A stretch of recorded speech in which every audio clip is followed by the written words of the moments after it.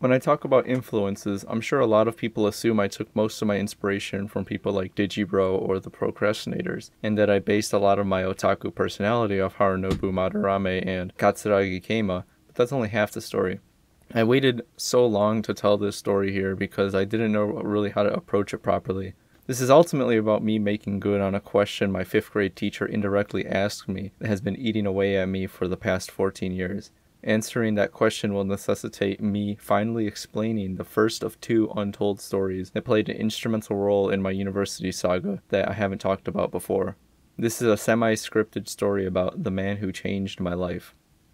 When I was in elementary school, we were given an assignment to read a book and make a presentation about our role model. This was one of the first school assignments I recall that really troubled me, not because it was particularly difficult, but because I didn't have a role model. I remember racking my brain trying to sift through my limited life experiences to see if there was a name I could use that actually meant something to me. We were supposed to tell our teacher who we wanted to research by the end of the week, and she would write the names on the chalkboard so there would be no duplicate presentations. Come Friday, I was more confused than I was when I started, so I settled on a semi popular athlete that I remember my dad talking about fondly. The person I researched was a good guy both on and off the field, but I never felt a real connection to.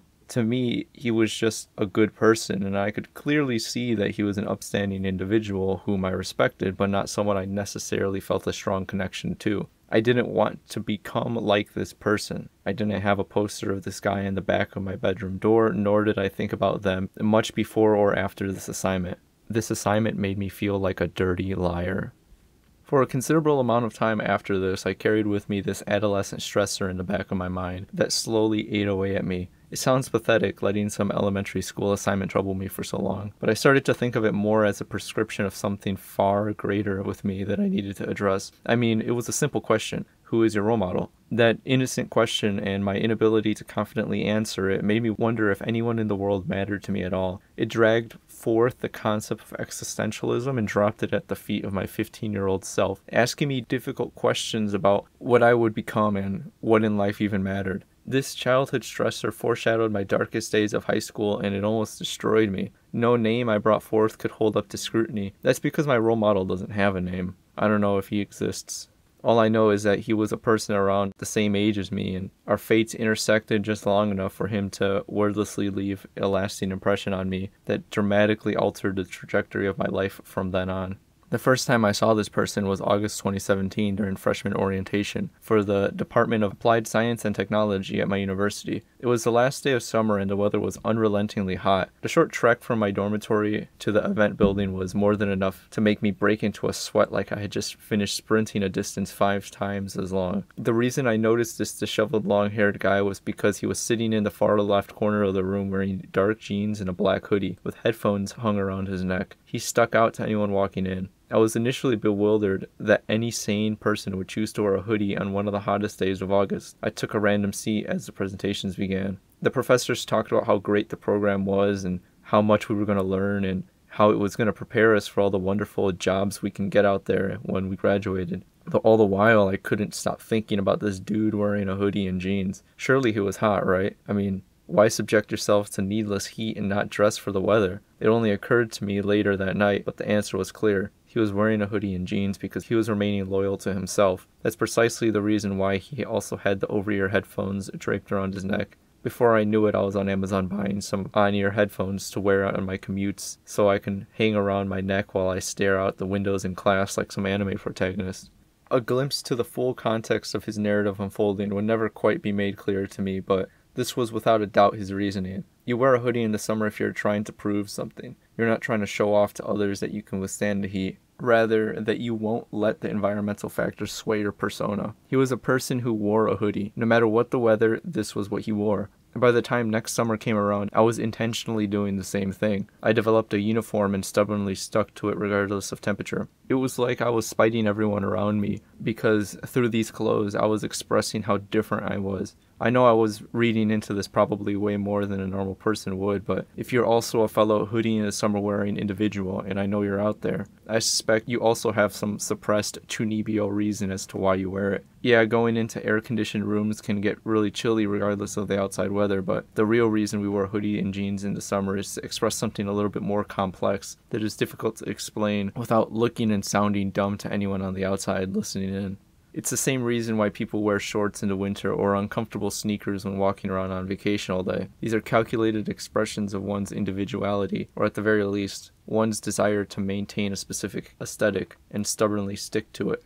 The second time I saw this guy was during the first actual week of classes. We both attended a general education class about biology in a rather large lecture hall with over a hundred other students. One day, as everyone was filing out of the narrow seating rows after class, I saw this guy from across the aisle. The moment that would follow is forever burned into my memories. There he was, long hair covering half his face, hoodie on, and messenger bag covered with pins slung over one shoulder. But what caught my attention was his shirt. He had a shirt with about a hundred anime girls on it, with text that read, No waifu, no lifu.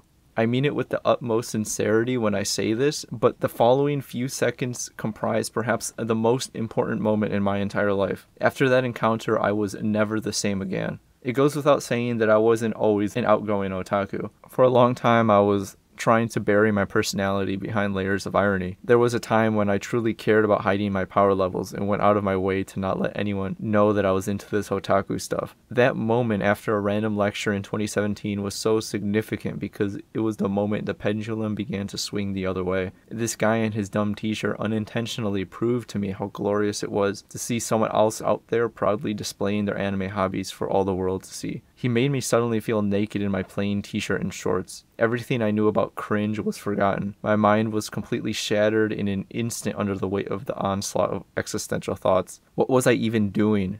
What was I even trying to pull here? Why was I trying so hard to look like the people I hated? I was so impressed by the balls this guy had to wear this shirt like that, regardless of if it was ironic or sincere, because the message was clear. He was a fellow true otaku that was seemingly so much more comfortable in his own skin and could express this fact to the world.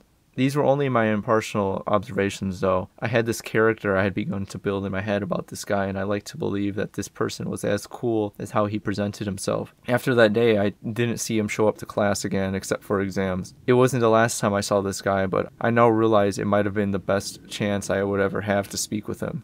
A few weeks later, I saw him at Anime Club. I had begun fruitlessly attending the club for about a month at that point, trying to convince myself that it was worthwhile. Every week, the club would meet in a vacant auditorium and watch anime for a couple hours. It quickly became obvious to me that the club was not someplace I belonged. I stopped attending after holding out for two months and realized that nothing they were going to watch was something I hadn't already seen before. It just so happened that a few meetings before I quit the club was one of the only days my long haired senpai decided to show up. It seemed obvious that he would go, considering the proud display of his otaku pride in the few moments I had seen him, but this moment surprised me regardless.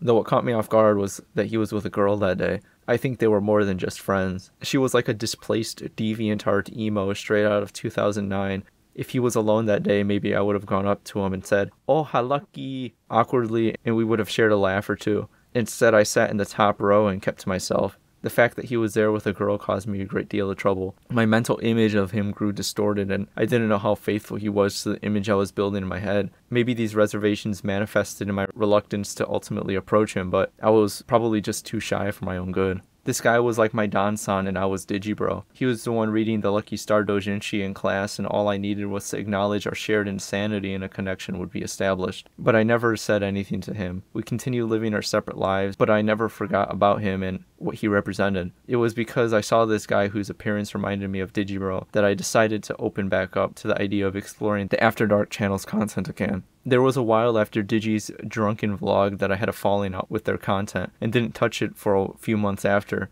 If I never saw this guy, I would probably have never returned to the Procrastinators podcast, never listened to the Decompression Chamber, and forgotten about insomnia analysis. Without these touchstones in my life, I wouldn't be half the man I am now. This guy's existence influenced me to watch Lucky Star during November 2017 and have that anime radically alter the trajectory of my otaku lifestyle in a time when I was getting back into anime stronger than I had ever been before. After I saw both this guy and Digibro with the unmistakably hippie geek long hair, I started to grow my hair out too. I wore my hoodies more and bought those on ear headphones to wear around my neck like a JRPG protagonist. I wanted to be like this guy because he seemed like such a perfect representation of everything I wasn't confident enough to be. And seeing this existence before me made it feel more attainable, flipping a switch in me that changed my life forever. It was now the very end of April in 2021 and one of the last days of my last years in university. Almost all my classes were meeting exclusively online or had already ended after a final exam. I was walking back to my apartment after working a few hours at my on campus job. It had been raining earlier that afternoon, so the clouds still hung heavy and water still collected into puddles on the sidewalk. Above, the sun was only just peeking through the clouds right before setting, contrasting the dark sky with light orange and purple hues. Not a single other person was around after the rain, and the area was entirely deserted. This moment of Silent Hill esque isolation enveloped me. I had my hood up and was listening to Shinigawa Satellite on my headphones. At this point, I was already caught up in my own nostalgia for a time when I started this school. I was almost done. I didn't know what was going to happen to me next. I was on the precipice of really entering adulthood for the first time, and the bittersweet end to my peaceful university days was finally sinking in. The melancholic half smile of Genshiken's graduation chapter echoed my own somber reminiscing, but my memories were only of me. I had no friends, no connections, nothing except my little one bedroom apartment and the hundreds of anime I watched in there. My thoughts were interrupted, though. I saw another person. It was an unmistakable figure with long flowing hair, over ear headphones on an already messenger bag with a hundred anime pins slung over their shoulder. He was cutting across the street perpendicular to where I was. Without thinking about it, I made a sharp left and cut through the parking garage to take a shortcut. My gentle stroll turned into a run and I was twisting through the empty rows where vehicles used to park. At the end of the garage, I emerged at the intersection and I saw my old senpai on the other side of the street, reunited briefly for one last time. During the second and third years, I didn't see him again. We never crossed paths and we were like ships in the night. But here, at dusk on the last day of school, I had one chance. I bit my tongue. I caught my hand mid wave. All of a sudden, the gravity of the moment lodged the yet unformed words in my throat. I didn't know his name or even who he was. Who would I call out to? What can I say to someone who meant so much to me yet represented a dream so vague? For all I know, he didn't care about anime anymore. Maybe he never cared and it was all a joke. Maybe he had a girlfriend and he never was the person I wanted him to be. In a moment of instinctual social awkwardness, I could only muster up the courage to take my phone out and snap a blurry photograph. I don't know what compelled me to do that, but I at least now could understand why no words came to me that day. In the end, I watched him walk off and our paths remained uncrossed. I continued onward home as he went off to a place I would never know. I never saw him again after that. Sometimes I wonder if I'll ever run into him again at an anime convention or bookstore, but even if I did, I'm content with leaving this Akogare no Senpai esque relationship as is. I ended up letting him live on as a concept. It was more beneficial for this guy to only exist in my head as this idol that would always be one step ahead of me, someone who I could look up to and keep trying to be the best otaku I can be, knowing that there's someone else out there really just doing the same. In that final moment, and all the moments in between, I secretly feared having that illusion destroyed hence why I let him walk off into the fading dusk. He became a model for and continues to be my ideological warrior. This guy whose name I never knew changed my life without us ever meeting.